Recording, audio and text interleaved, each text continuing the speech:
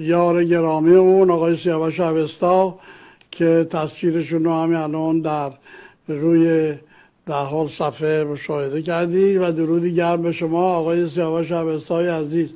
سال نو مبارک. امیدواریم که این سال 2023 متفاوت باشه از 2022 درود بر شما استاد چرفشاهی درود دارم به کارگردان برنامه.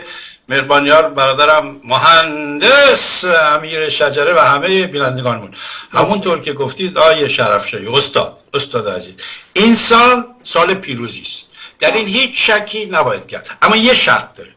اون یه شرط شما من امشب بارها گفتم ولی امشب باز می‌کنم. یعنی امشب یه رازی رو برای شما باز می‌کنم که اگر این راز رو مردم ما بفهمن مثل همه مهرورزی که تا این چهل سال داشتن به مطالب سیاوش اوستا صد درصد امسال آزاد میشه در ابتدا پروانه می‌خوام ازتون استاد شرفشاهی که درود بفرستم به روان رفیقم برادر عزیزم یار مهربان ایران نواده رضا شاه بزرگ دکتر علی رضا پهلوی عزیزم که امشب یادبودش هست دوازدهمین سال ترور شاهزاده علیرضا پهلوی است. تصویر داشتیم میارین روی صفحه. بعد بله اگه عکسش هست اینم عکس قشنگ و خوشگلش و همیشه خندانش. همیشه های شرفشای خندان بود. همیشه بزرگو جوک تعریف می‌کرد. من یادم میاد وقتی که با شعبانی جای میجست شعبانه این پاشو فشار می‌دادن که بابا مثلا آدامس نخور این کارو نکن. همونطور که خود شهبانو به مادرش روبل بود یعنی انقلابی بود بهش گفت ماتیک نزن می‌زد می‌گفت اونجا نرو می‌رفت. علی رضا هم همینجور بود. می‌خوام ازش فیلم های زیادی دارم حتی در کنار شهبانی که نشسته همین کارا رو خب ما پخش نمی‌کنیم. بله. این جوان اصلا تو خونم که بود می‌دونید که آیه شرف اینه دیگه چون پرنس رضا پهلوی توی سخنرانی خودش به یاد علی رضا گفت من بگم اینجا. پرنس رضا پهلوی گفت این اینقدر شور تحرک در دربار داشت که ما اسمشو گذاشته بودیم تروریست.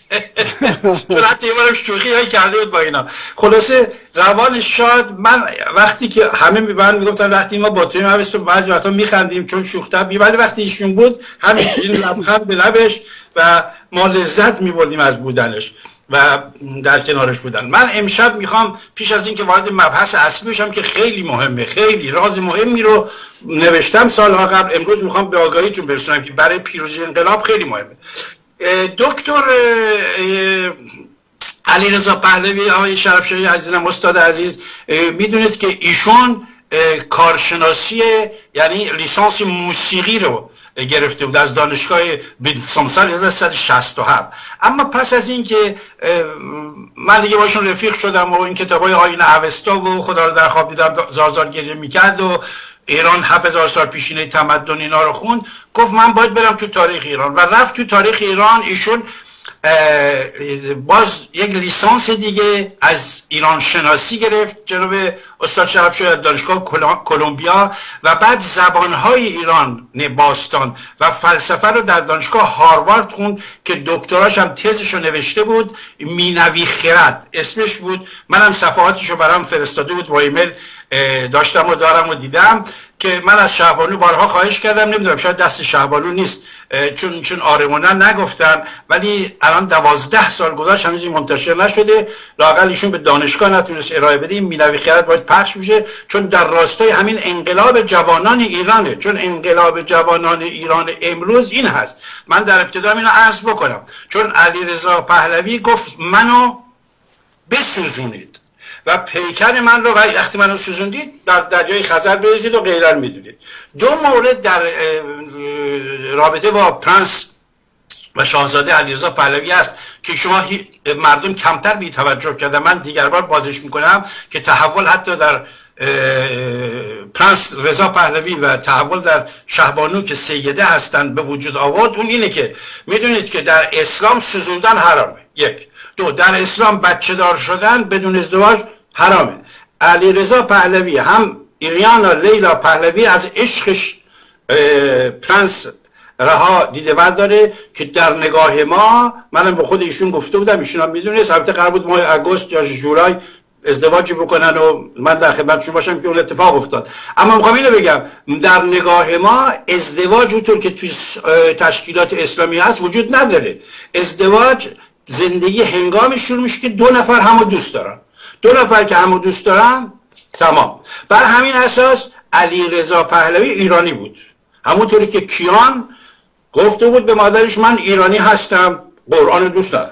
حالا من می‌خوام در ابتدای اینم آقای شرفش اینجا استاد بگم ما با اسلام هیچ مشکل و مخالفتی نداریم. ما با عرب هیچ مشکل و مخالفتی نداریم. اصلا من مخلصشون هستم.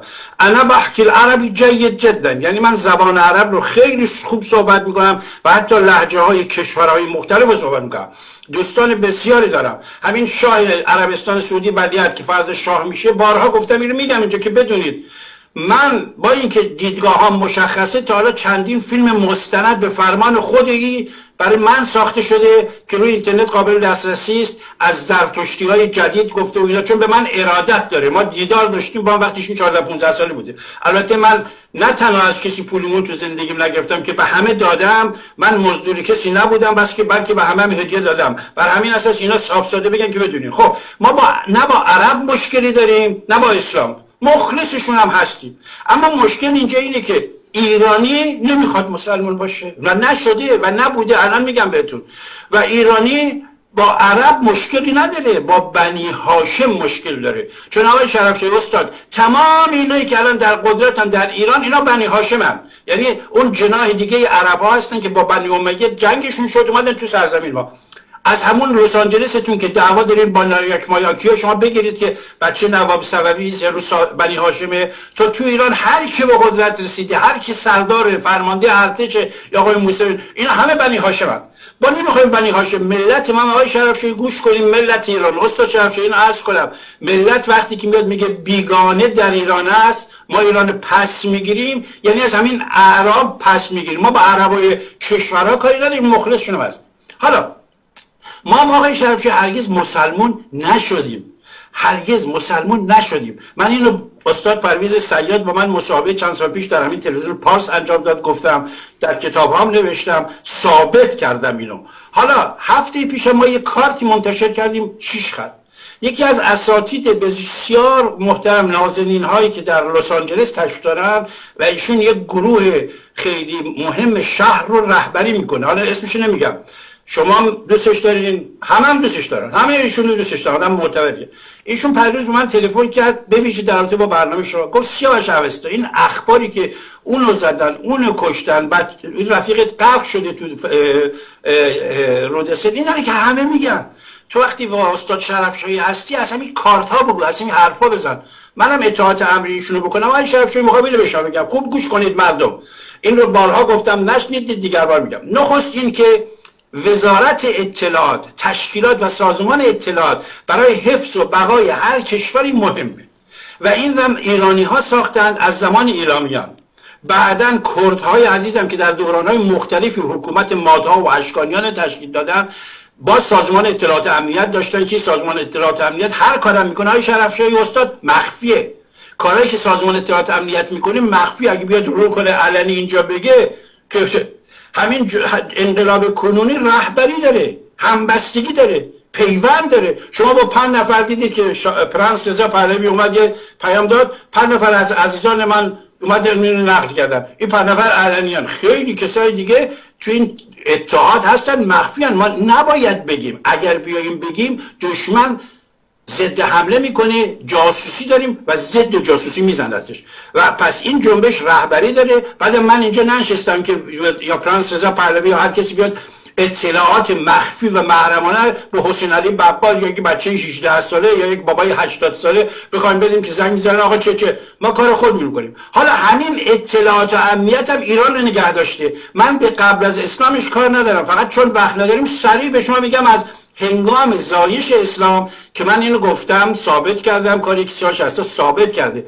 بر اساس سوره روم اسلام یک حزب سیاسی است که درست میشه برای اینکه ایران رو حمله کنه نابود کنه. چون در سوره روم میگه ایرانیا رومیا رو شکست دادن ولی ما میایم ما که میگه میگه الله. الله هم خدا نیست. رب در زبان عرب میشه خدا. الله ال اله هست. یعنی بت تشکیلات قریش بت بنی هاشم. میگه ولی الان یه ترتیب ایران میده در سال آینده در و داغونش می‌کنه. خب من محقق که هستم مورخم من تاریخ شناسم. در لبنان دمشق لندن قاهره قونیه ایران پاریس من معتبرترین کتاب ها رو مطالعه کردم و خوندم. استاد شرفشویی این حمله به ایران از قبل سازماندهی شده بود. همچنان که ایرانیا به عنوان مج میگن عیسی مسیح عزیزم و میگن که این ناجی یهود هست. کمک مالی بهش می‌کنن فراریش میدن که بعد میسازنش که برمیگرده.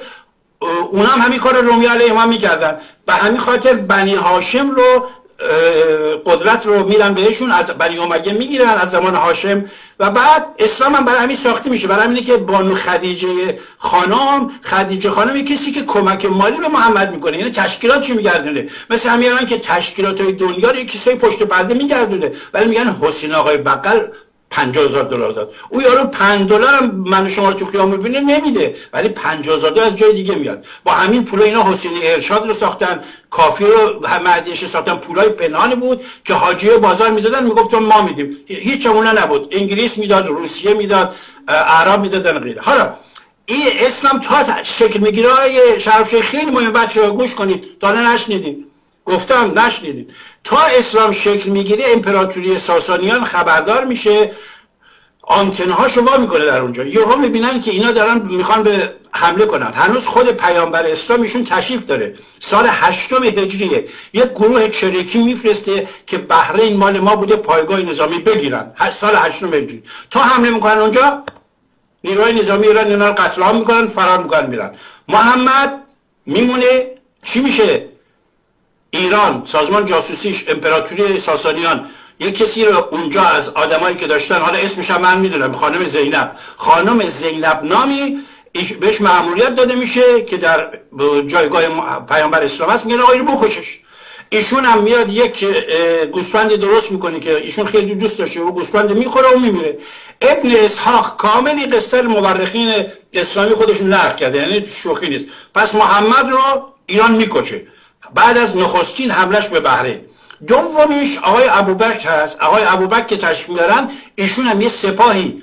باز دوباره همون سپاه رو میفرسته به عراق. اون موقع عراق می‌دونید که تیسفون پایتخت ما بوده. بغداد. بغداد شهر ایرانی است کوفه انبار. اصلا تمام شهرهای عراق ایرانیه. چون ایران بوده بیت بین النهرین بوده. و اصلا مهمتر استاد شرفشاهی. این که عراق عربی نیست واژه است. ایرانی ایرق ایرانک ایرانک بوده. ایران کوچک بوده. چون بخشی از خراسان بوده. حالا این بحثا جا جاش نیست وقتم ندیم بعد ابو بکرم حمله که تا می‌کنه اونم شکست می‌خوره. می‌بینن ای ابو بکرم باز می‌خواد کار دنبال کنه. باز نیروهای امنیتی ایران می‌زنن. ابو بکرم مسئول می‌کنن میمیره.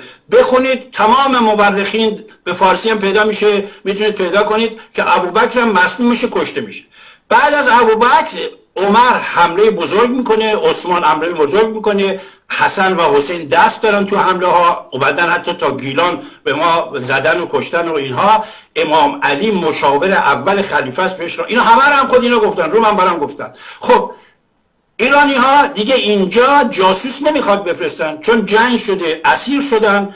پیروز ناهاوندی سردار بزرگ ایرانی اونجا اسیر می‌زنه عمر می‌کشه. عثمانی که می‌خوان بکشن مصری هم چون اینا حمله کردن مصری هم اونجا اسیر اومدن ایران با مصر می‌سازه حمله می‌کنن جناب عثمان رو می‌کشن. بعد میمونه حضرت علی حضرت علی هم ابن مرجم مرادی اسم این رفیق با هم که رفت رودسن مرادی بود اسم اصلی ایرانیش بهمن جادوی است. من چند سال پیش مطلبی در روزنامه استاد فرود فولادوند نوشتم اونجا تایپیست اشتباه کرد. جادویه رو نوشت جازویه یه نقطه گذاشت. تا همین الان خیلی اشتباه رو می‌کنن. به اطلاع همه می‌رسه. اسم شد بهمن جادویه. چون وقتیشون میجنگید مثل این فیلمی که ساختن روی حسن صبا و الکساندر این به گونه میجنگید که با پرواز می‌کرد. یعنی سیستم قلعه های الموت حالا اونم خودش قصه داره که وقتی میجنگیدن با آکروبات اینا حمله می‌کردن گردن می‌زدن اینا اینو گذاشته بودن بهمن جادویه. یعنی جادویی میجنگید. پدرش هم همینطور. این میاد میره تو خونه یه کسی که خیلی مهم میرم به شما بگم. آقای اشعث ابن قیس. اشعث ابن قیسی که از مامورای امنیتی ایران بوده که از یمن میاد. قبلش کلی جنگ می‌کنه با مسلمان ها با خود محمد اینا. بعد دستگیر که میشه؟ میگه من مسلمون میشم. سال دهم هجری مسلمون میشه. بهش پست بزرگم میدن. چون در یمن قیس قبولی بوده. اش اس ابن قیس چون جاسوسه. برای نابودی اسلام اومده. این ابن ملجم یک ماه تو خونش جا میده. بهش امکانات میده که میره امام علی رو می‌کشه. بعد استاد شرف شگه همین اش ابن قیس دخترش به نام جعده میشه زن امام حسن امام حسن مسموم می‌کشه می‌کنه می‌کشه. پسر اشعث ابن قیس پسر اشعث ابن قیس به نام محمد میره تله می‌ذاره برای امام حسین. امام حسین رو در کشتنش دست داره و دخیله. می‌بینید که سازمان اطلاعات امنیت ایران اهورایی از همون قدیم کار می‌کرده و ایران رو نگه داشته تا به امروز. امروز هم همین سیستم امنیتی پنهان هست. همینی که من ایران رو تا حالا نگه داشته برای همینی که بعضی نمی‌فهمن که اگه ما یه روز میگیم حسین آقای بقال آخ قربون چشت قربون این داره برای ما کار می‌کنه. اینا کارگرای ما هستن. اینا دارن برای ایران کار مثل همون اشعث ابن قیس رفته مسلمون شده و اونجاست که کمک می‌کنه. حالا هم اینو خوشخبری بدم به همه عزیزان که ایرانی هرگز مسلمون نشده. ما مخلص اسلام هم هستیم تو کشور خودشون. ما مخلص عرب بنی هاشم هستیم تو کشور خودشون. ایران امروز که با کیان به عنوان پیام و با مجید رهنورد که من از شاهزاده پرنس رضا پهلوی یه بار دیگه سپاسگزارم به خاطری که ایشون سنت های قدیم و ذهنیت سابق خودشو شکست دور ریخت. شد پیرو نور دخترش. شد پیرو نسل نو و جوان و اومد گفت که این آقایی که حتی زده دو تا پاستور رو کشته قهرمان ملی است شیر است و چه. و و و تحولی که الان به وجود آمده که همه میگن مثل دارجوش خونده شعر معین کرمانشاهی بیگانه در یونان است. ما پیرو زرتشت هستیم. فرمان ما فرمانده ما تازی اینها رو باید بچه ها برن بی پیر پاتالا بگن که پیر پاتالا از سجاده و نماز و تازی پرستی درارن. بیان تو میدون. اگه نیان باختیم. اگه بیان برنده هستیم استاد شرفشاهی عزیزم. بسیار ممنونم از شما. وقتتون در اختیار این برنامه گذاشتیم و مطالب جالبی که بیان کردین تا هفته آینده شب و روز خوشی رو براتون آرزو دارم. همچی برقی یه تاریخ 1400 ساله خدمتتون گفتم. میبوسمتون سپاسگزارم. بسیار, بسیار ممنون. بینندگان عزیز برنامه ما در اینجا پایان گرفت. همراه آقای دکتر قرگز دوست سیاوش شبستا و آقای امیر شهرتی کارگردان برنامه با شما خداحافظی می‌کنم و تا هفته آینده شب روز خوشی رو برای شما آرزو دارم. بدرود تا درود دیگر. بدرود مرسی آقای شهرتی. مرسی جان.